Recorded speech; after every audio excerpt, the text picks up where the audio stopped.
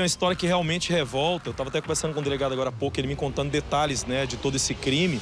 E também detalhes do criminoso, um homem agressivo, violento, que tinha como principal alvo geralmente mulheres. E aí ele acaba, né? A gente está vendo ali o momento em que os policiais chegam para fazer essa prisão.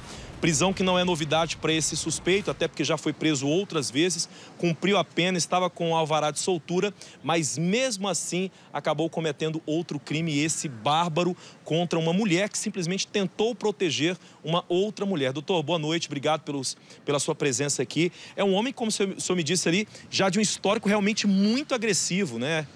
Boa noite, boa noite, Silvier. Satisfação da Polícia Civil retornar aqui o programa, a gente se sente em casa aqui, uma família. É, esse caso é importante é, trazer o histórico desse indivíduo para até entender como que um ato tão primitivo, tão agressivo, uma violência desnecessária, resultou em um espancamento uma senhora de 54 anos, sem histórico, obviamente, criminal, humilde, trabalhadora, estava recebendo ali uns valores até baixo para sua subsistência. E por que, que esse indivíduo chegou a esse ponto? Então, nossa Polícia Civil estudou a vida pregressa, o comportamento social desse indivíduo, né? Chegamos aí a uma extensa ficha criminal, alguns procedimentos já arquivados, outros em andamento.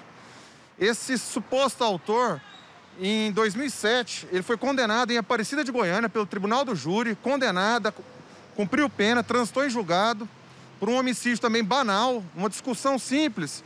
Ele pegou uma arma de fogo e alvejou um desafeto dele que ele nem conhecia.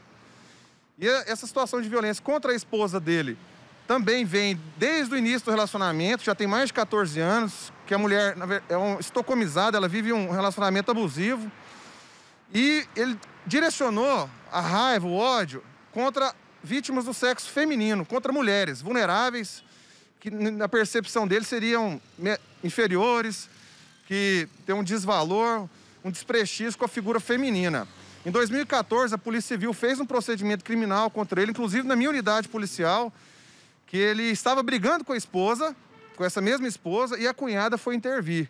Ele ameaçou essa cunhada de morte, pegou um facão e tentou persegui-la. Ela conseguiu fugir, por bom, não, não veio a ter lesões. Em 2018, ele foi autuado em flagrante pela Polícia Civil, Lei Maria da Penha, violência doméstica familiar contra a mulher, dessa vez a irmã dele, foi autuada em flagrante. Em 2020, a mãe desse indivíduo procurou Delegacia da Mulher de Aparecida, a própria genitora, mais de 60 anos, uma idosa, pelas agressões também que vinha sofrendo por ele, solicitando então medidas protetivas, que foram deferidas e ele já está com afastamento da convivência com a mãe.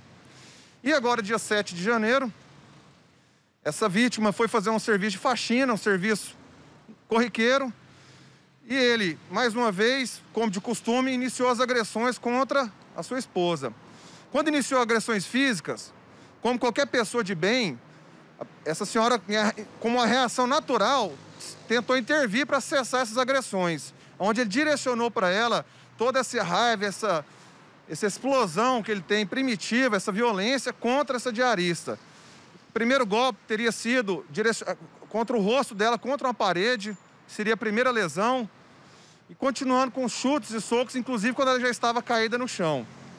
Então, posteriormente, ela procurou a ajuda de conhecidos. Infelizmente, né, foi encaminhada ao Hospital de Urgência de Aparecida de Goiânia e, após sete dias, veio a óbito pelos golpes que causaram trans, é, traumatismo craniano nessa vítima.